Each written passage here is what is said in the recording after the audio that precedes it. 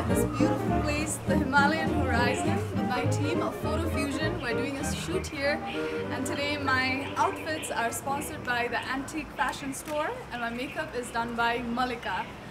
And I hope you guys enjoy. This place is beautiful. I hope you visit one day.